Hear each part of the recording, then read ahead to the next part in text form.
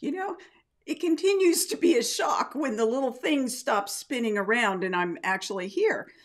I'm Becky Goldsmith. Thank you very much for joining me for Time Out on this very fine Wednesday afternoon. Behind me, I'm going to click the little button to go here so you can see. Behind me, wait, I have to go the other way. Behind me is a quilt that I almost never put up um, here because it is so red. But because I hardly ever get to show it, I thought I would show it. This is Pushing Boundaries. Uh, it is an e pattern only. It has never been in a book, it's never been in print, but it's one of my favorite newer quilts. It's uh, it's fun. I hand appliqued it, but you could machine applique it. All right, so today we're talking about three different ways to make templates pretty much for hand applique. Although you could use these to make templates for other things, and I'm sure you'll sort that out. I've got a series of videos, um, and I will be back and forth in between the videos. And I'm really live this week. You know, last week I was on vacation. The stars in South Texas were amazing but I'm here now where the stars are less amazing. All right, here we go. When you want to make templates that begin by printing something in your printer so that you don't have to trace it, there are three ways to do it that I know of. One is to print your, your templates onto the paper that's in your copier already and cover it with a peel and stick laminate. This is the method I use almost all the time. Another way to do it is to use the quilter's freezer paper that comes in 8.5 by 11 sheets that you can run through an inkjet printer and print your template shapes onto it. And then there's this made by Cut-Rite. It is a heavy duty freezer paper. It says it's heavy as cardstock, and it is about as heavy as a regular weight cardstock. This too can run through an inkjet printer. Never, never a laser printer. Any of you who have fused freezer paper to the drum of a laser printer, you know what I mean. Not that, inkjet only. Each of these products does indeed provide you with a template, but they are templates that you might use in different ways in different times for different things. Let me make one template in each of these methods and then show you how each one might be used to the best of its ability. Because I think what's true is there will be times when one or another of these kinds of templates is really handy, and other times when they're not particularly handy at all. All right, let me make templates. Okay, I'm back. and as I said, I typically, well, I always make templates from a copy when I can because tracing onto things is slow and not particularly accurate. And you'll notice I did not include template plastic in here at all. You know, the kind that comes in the sheet, it's a little bit thick. I never use template plastic because number one, you have to trace on it, and number two, it's really hard on your fingers when you cut it out. So you won't see me using that ever. I can't remember when I bought template plastic last. But I want to show you, for, the, for those of you who may not have ever seen me make templates with the peel and stick laminate, I've got a really quick video to show you how you do it. I'm guessing that many of you have seen me make templates from a paper copy using the peel and stick laminate in the past, but I'll quickly show you how to do it here. I'm trimming away the excess paper because anything here that isn't a template is trash. This is a single-sided piece of peel and stick laminate. I sell it on my website, but you can find it at office supply stores as well. This is the end that's easy to peel. Once you peel it back, crease the backing sheet so it doesn't flop over. If I was going to need this whole piece of laminate, I'd peel that off, but I don't. I'm going to turn my trimmed copy right side down, cup it in the center, and I will lay it down on the laminate and then slowly control it as it flattens out. Don't hold the paper too close to the laminate because the static electricity will cause it to grab the paper. I'm about five inches above the laminate. I'm going to begin moving steadily downward. Once you get on the laminate, that's it, it's stuck. Let it down. Place the backing sheet back over it just to protect your scissors from any of the sticky bits of laminate hanging off. And I'm going to trim this excess laminate away. And these pieces I can save to make small templates from sometime in the future. Pieces that are too small to save, I throw away. Once you have this trimmed so that there won't be any sticky bits hanging off, the backing sheet falls off, it too can throw away. Then I will cut out my template for today, for this demonstration, I will cut out that Christmas tree number seven. I'll do that and be back. Okay, so I cut it out and you'll see me using these scissors kind of a lot. These are made by Kai. They're an embroidery scissor. Um, they don't always come serrated, but when I order them, they come serrated. So one blade has little teeth and the other blade does not, which is helpful, especially with fabric, kind of with paper. Um, one thing I want to show you, I have to, I keep thinking I'm moving toward the camera when I'm not. Um, when you hold scissors in your hand, you typically, if you were me before I started holding this kind of scissors, you might put your lower index finger in the grip and have your thumb in the other grip and cut like this. That is not such a great way to hold the scissors. When you pick up scissors, excuse me, put your index finger in front of the bottom grip and your thumb then in the top grip this scissor, even this scissor, is really weighted in such a way that it wants you to do that. What happens is when you've got your finger in front of the lower grip, it gives you more control over the cut. You can point where you're going just a little bit better because you have pointing ability with that index finger. The other thing is that it changes the balance of the scissor in your hand. So, with every scissor from here on out that you pick up, give this a try. I think you'll find that you have more control over your cutting. The other thing is so that's how you hold the scissors. When you cut your templates, split the line. Don't cut outside the line, don't cut inside the line. Cut right down the middle of the drawn line. Because if you add or subtract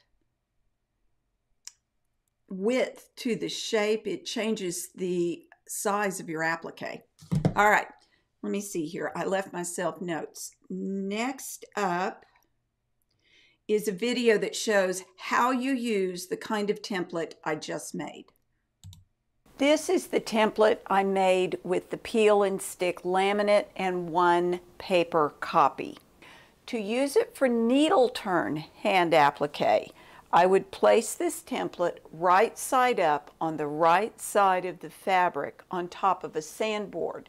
The sandboard keeps the fabric from moving as I trace around the template. I will place the template on the diagonal grain of the fabric in this case because there's no design that needs to go up and down the tree. A bias edge turns under more gracefully than one that is on the straight of grain. because I'm on the sandboard, I can shift this more easily. Plus, it keeps the fabric from moving. I'm tracing around the shape with my General's charcoal pencil. I like this pencil anytime I need something light. Now, the positives with this kind of template are that, for one, it's really, really flat, which means that when you trace, you can get right up next to the edge of the uh, template. If you're used to using a thicker template made from template plastic, you know that getting right next to the edge of the template is harder because the template itself is taller, which moves the edge of the chalk away from the edge of the template. You do have to be sure to keep your template in place with your non-pencil holding hand. So if you watched, I've moved my fingers down the shape. And I'm, I'm pushing down pretty well to hold it in place. Now I'm going to turn this around and recheck my placement. The template will move if you're not careful because it's not glued down or ironed to the fabric but it's flat. You can trace right up next to it. The other thing is that because the paper is on the underside of the fabric, it helps to hold it in place a little bit better. And the laminate, which is shiny and slick on top, that's nice too because the pencil glides across it. It doesn't kind of get hung up on the top of the paper. That's smooth.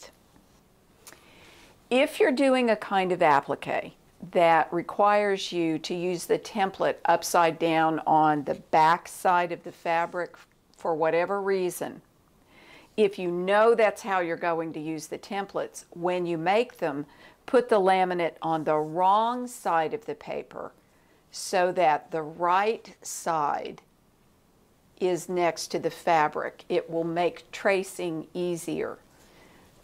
But I so rarely do that that I always put the laminate on the right side of the template because I use them most often right side up on the right side of the fabric. I hope that wasn't totally confusing. Once it's all traced, I would use my scissors and cut my shapes out adding a 3 16 inch seam allowance for the needle turn applique that I do most often. And there I would be.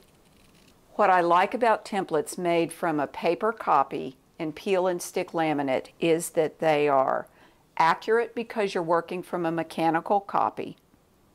They're fast because you're not having to trace the shapes onto template plastic or anything else.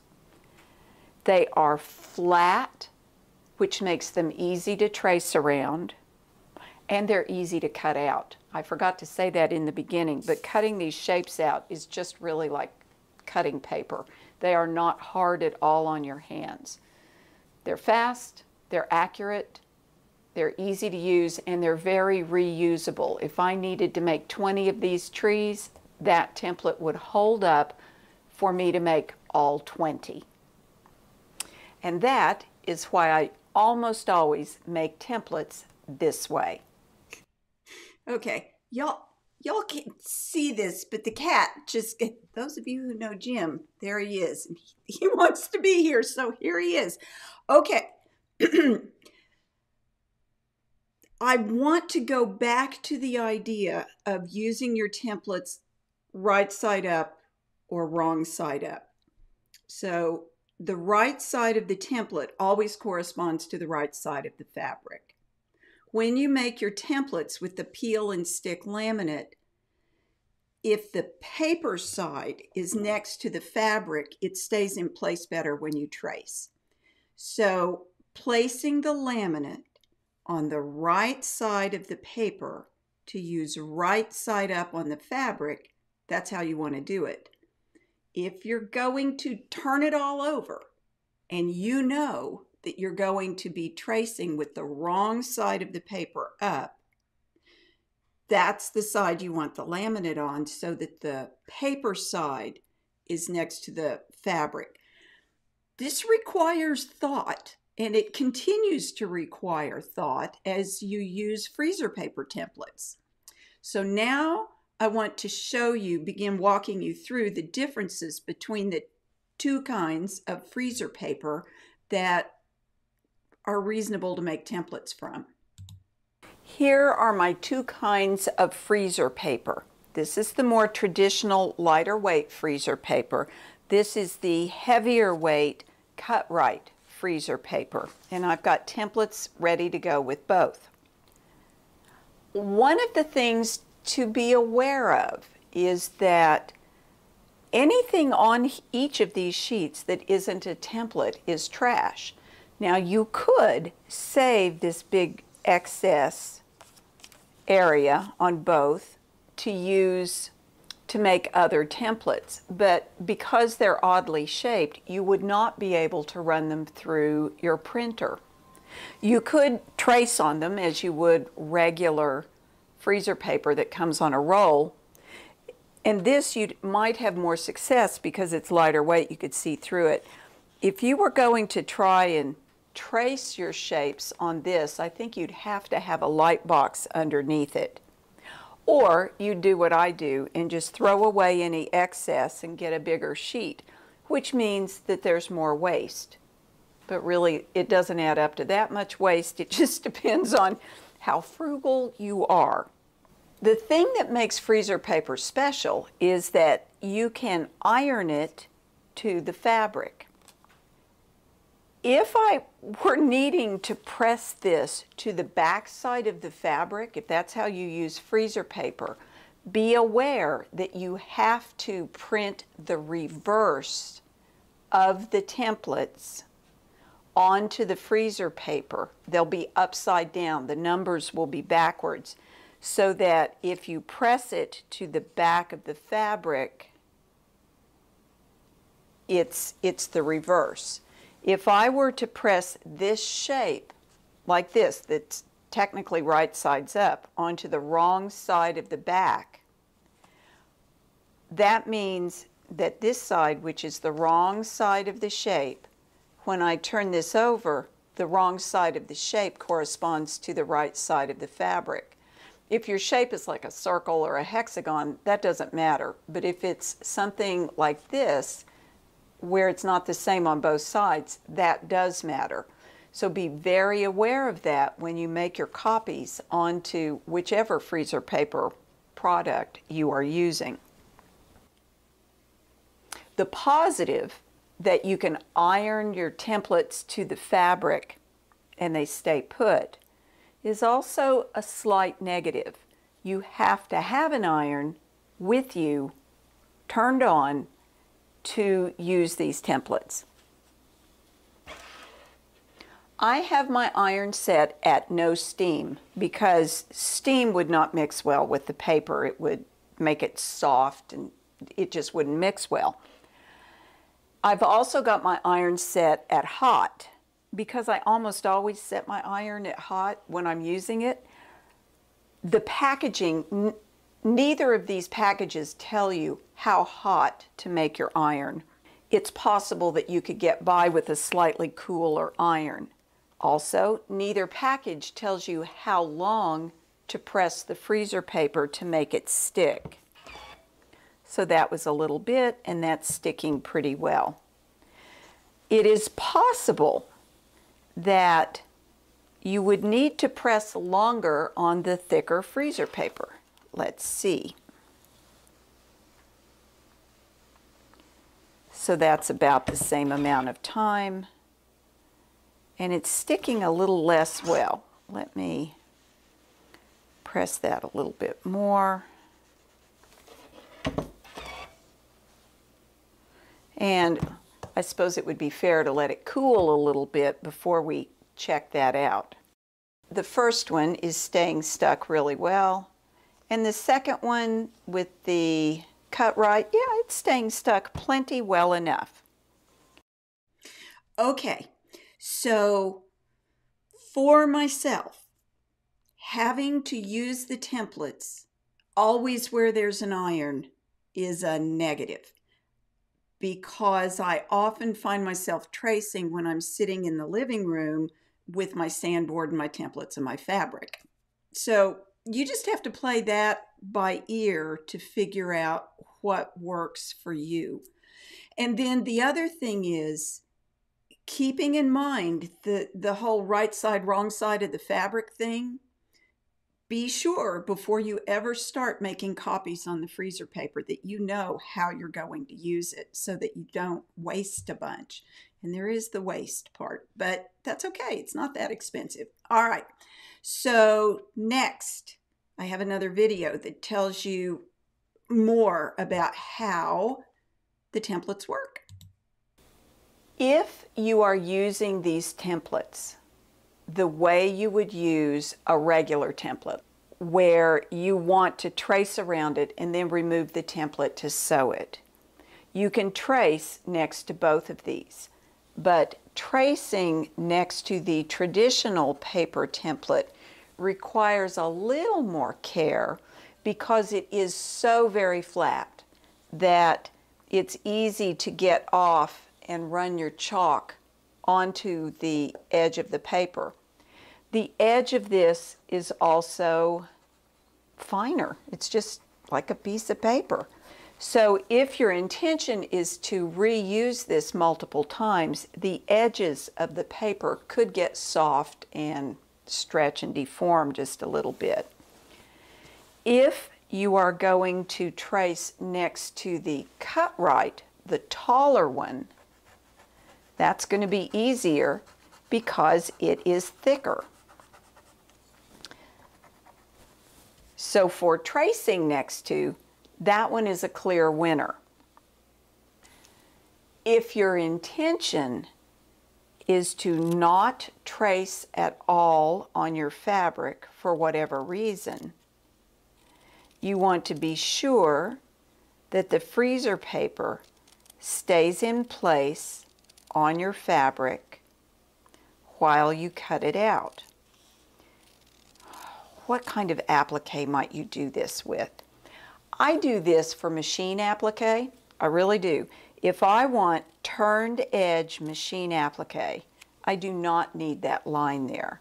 I just need the edge of the applique represented by the freezer paper on the right side of the fabric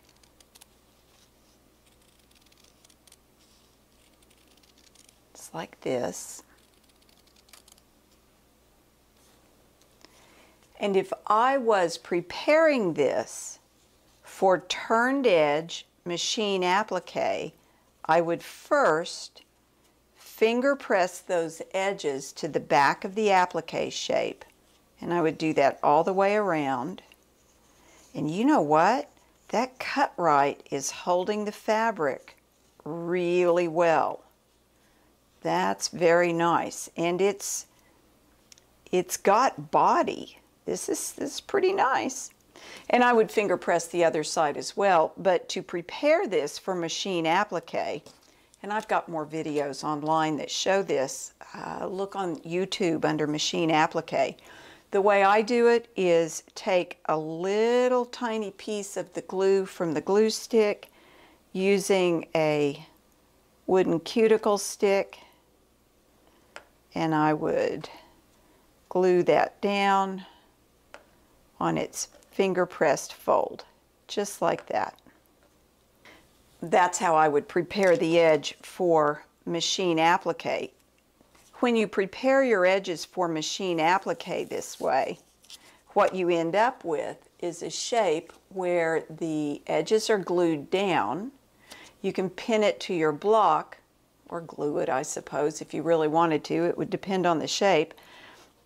You would put this on your on your background and you can applique it in place on the machine.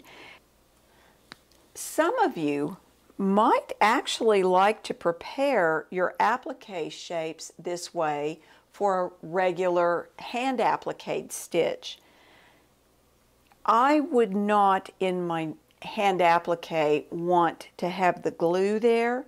But if the glue doesn't bother you and you very much like having a prepared edge to sew, well, this is a decent choice. Okay, so, so there's a lot there, right? Um, one thing I want to say about the way I use the glue for those prepared edges is that if you take your glue stick and like you run it along the seam allowance, even with the sandpaper below it, you can stretch that seam allowance and cause it to fray. And I, I don't like to do that. You can run the glue on the body of the applique, like right at the edge, sort of, you know, near the edge of the freezer paper on the underside, and then fold that seam allowance over on it. You know, rather than using little pieces of glue, you can do a line of glue. But again, for me, I find that that it's just too much glue. But there are a variety of ways that um, that people can do that. the other thing is that you know we all applique differently. So gluing down the edges before I hand applique is just not what I do that much. But if you want to, that's a good way to do it. The other thing, and it was funny as I was going through here and I was working with the two kind of freezer papers, is that the Cut-Rite is new to me. And the more traditional freezer paper I have at least used more. And I find myself kind of wanting to be loyal to the lighter weight freezer paper. But there, you know, that thicker freezer paper has a lot going for it. Okay, let me um, show you some more here.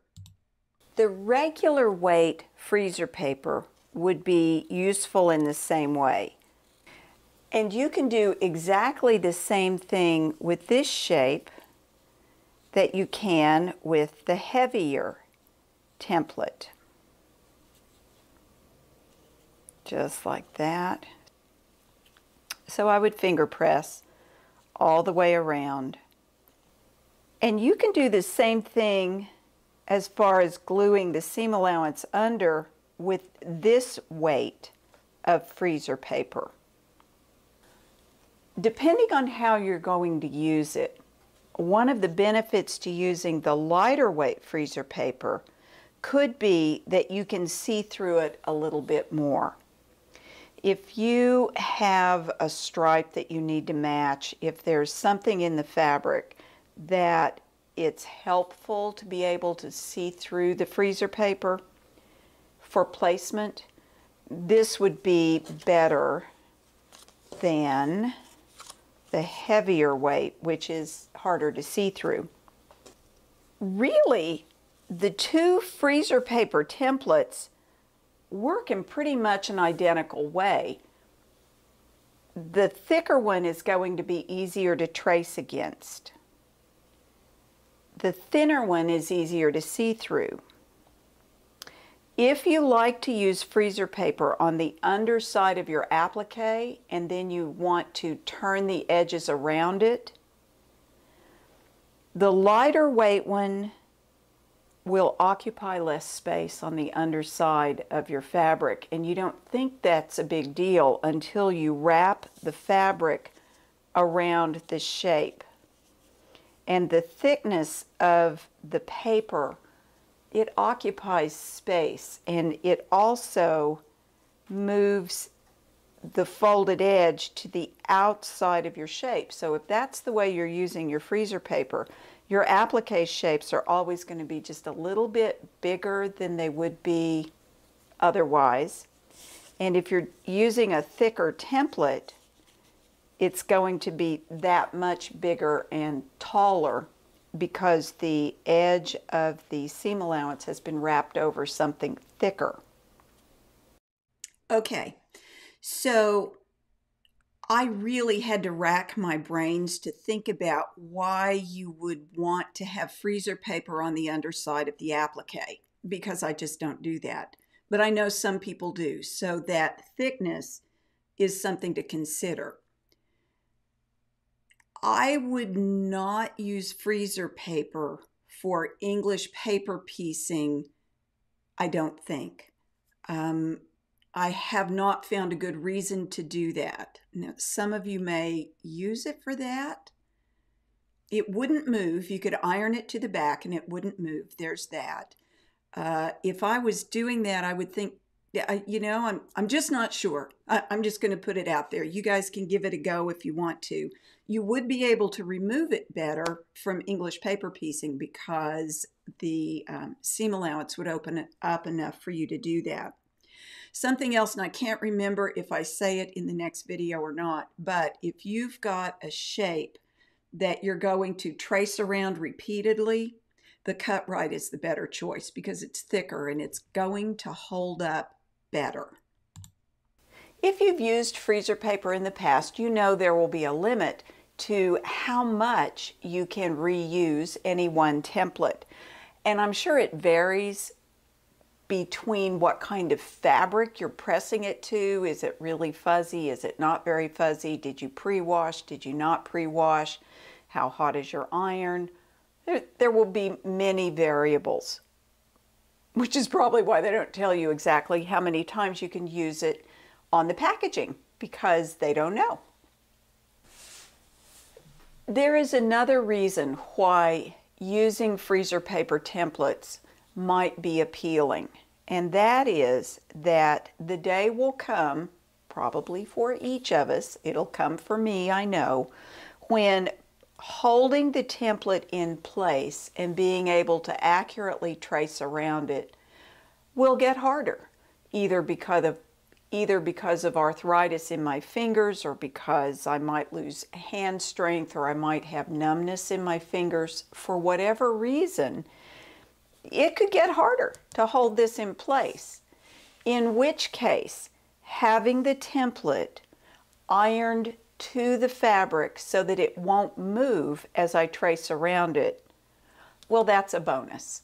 That's, that's one reason why. And if that was the case, I would lean toward the thicker template rather than the traditional freezer paper template.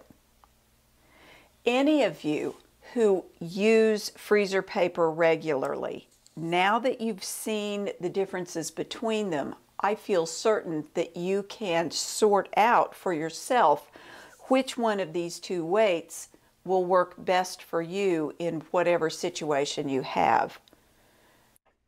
Okay, so one other thing, and this is totally outside of the box, um, but I used to, back in the day in my youth, I did like dyeing of fabric and resist dyeing where you would use bleach on fabric and, you know, and I did t shirts where I would take a shape cut out of freezer paper. And this was the older, thinner freezer paper. The Cut-Rite would be so much better.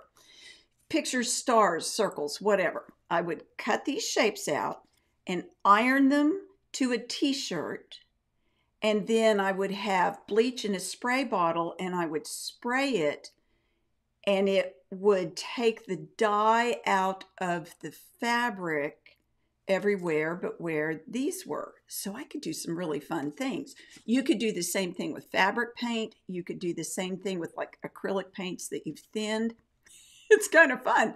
Um, once you start thinking about that, you know, that you can use, like you could cut stars, hearts, whatever. I just have a Christmas tree. Um, you could also take the larger sheet and cut shapes out of it to make a stencil to use for all kinds of things, right? So let's say you wanted to draw hearts on your uh, on your quilt and you didn't have the right heart shape, you could make stencils out of this, you know, to trace to then quilt around. I think you're getting the idea. Also, I don't have one but some of you might have a laser cutter you know like the like the um it's like a copier but it cuts things you could cut some stencils out of this to do fun things with uh, it would probably also work with those AccuCut machines, the other ones where you can cut shapes out.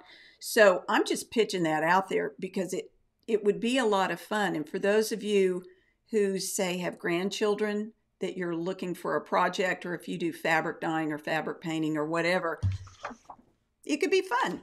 So that is another use for this that's a little bit outside the box of what I was thinking, but it came to me. So there's that. Now, let me think. Is that everything? I'm a little past my typical 30 minutes, but you know, there was a lot of there there. If you would like to suggest a topic, there's my email address. Give me an email. I am happy, happy to have topics. I think next week I'm going to talk about some simple, easy stretches that benefit us all. Eh, you know, we who sew. So I think that's what I'm going to talk about next week. I'm not positive, but I think. Uh, what's the other thing? This is the other thing. I will see you next week on Wednesday at 2 o'clock Central Time, where I will be happy to take a time out with you once more. So until then, may you have many happy stitches. Thanks for watching.